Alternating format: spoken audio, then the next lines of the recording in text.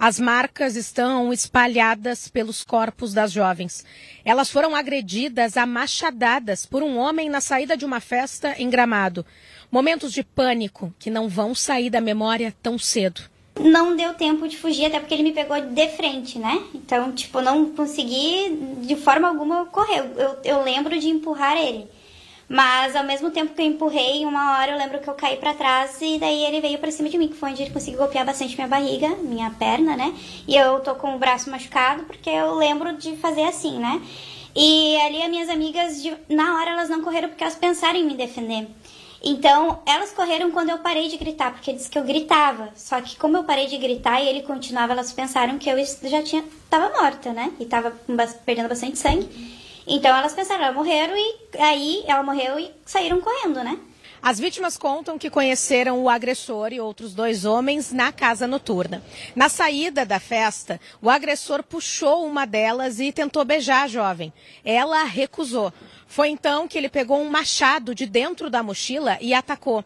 Poucos minutos depois das agressões, a polícia chegou e levou o homem preso. Eu acordei, eu já estava em outro lugar e provavelmente eu tenha desmaiado, né?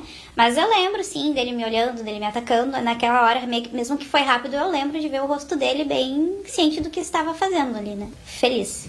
Prazerosa, vamos dizer assim. Neste vídeo, duas delas aparecem em uma ambulância. É possível ouvir o choro de desespero das vítimas.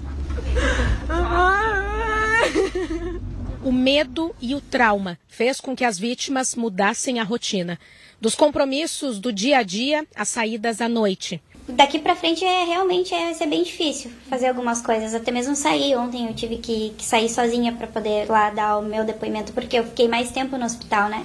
Elas foram liberar, liberadas primeiro, mas eu tive que ficar mais tempo porque eu estava mais machucada. Então eu tive que fazer ontem. Eu, uh, aconteceu que eu tive que, tive que ir sozinha, eu estava em pânico, né? O suspeito já foi identificado e prestou depoimento. O homem alegou que apenas revidou a agressão de uma das jovens. Com ele foram apreendidos o machado usado no ataque e um canivete. Por telefone, o delegado responsável pelo caso informou que ainda busca elementos para concluir a investigação.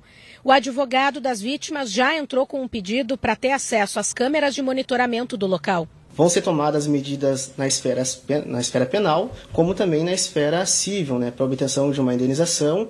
Uh, tudo isso vai ser melhor analisado com, conforme a gente for obtendo maiores informações, né, como acesso a essas filmagens, que são de suma importância. A princípio, parece que funcionários da casa de festa também testemunharam, vão depor também. Tudo isso soma, né?